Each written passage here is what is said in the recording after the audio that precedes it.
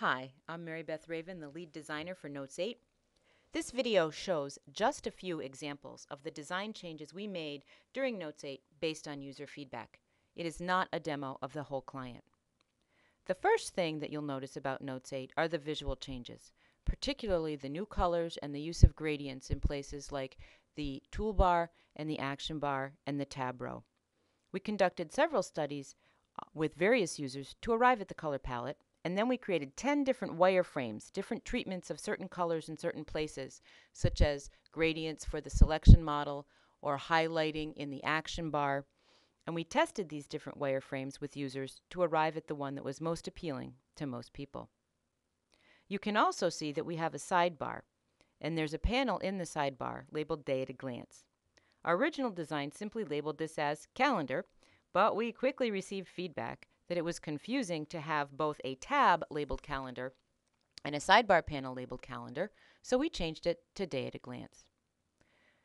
Over in the day at a glance, you can also see that showing all the time slots wastes a great deal of valuable screen real estate. So based on feedback from our early users, we changed the default to be simply a summary of the calendar entries for the day. In the sidebar, you can also see that in addition to day at a glance, we have other information like Sametime contacts or a feed reader. We realized that it had to be easy to manipulate the panels over here, so we tested several types of controls, several visualizations and arrangements of the controls to try to make them as easy as possible. For example, we started with just two controls, one for making the panel bigger or smaller, and the other for posting a menu of commands. But as the design evolved, we ended up with three, and we started with an arrangement that put the panel menu on the end. And as you can see in the shipping product, we ended up with three buttons, the first or leftmost for this panel menu of options, the middle one for minimizing or restoring the panel, and the last for maximizing it.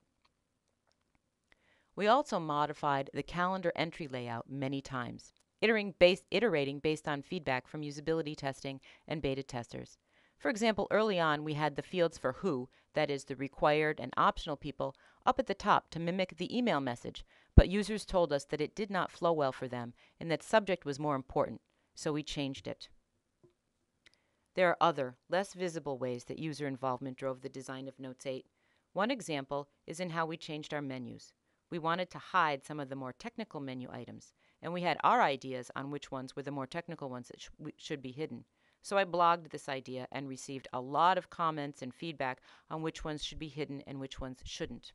So we ended up with an approach whereby on the view menu, we put a advanced menu menu item that was turned off by default, but advanced users and help desk people could go turn it on easily if they needed to access these menus regardless of whether the change was small, like changing the F5 key to do a refresh like a browser, or large and strikingly visual, like the new preview pane on the side. The important thing is that the Notes design team was actively engaging customers not only in Notes 8, but also in the note design of Notes 8 and beyond.